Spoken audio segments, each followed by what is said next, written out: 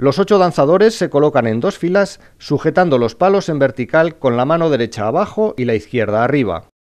Escuchan una frase musical.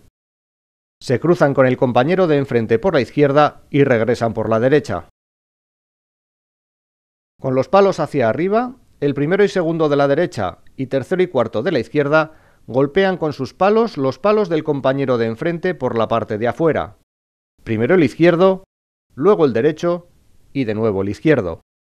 Los extremos giran hacia afuera y los centros hacia adentro. Repiten la secuencia de palos anterior.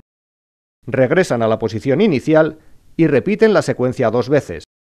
Cambian de calle en el sentido de las agujas del reloj con los palos en vertical. Los extremos se cruzan por la izquierda y los centros giran hacia adentro.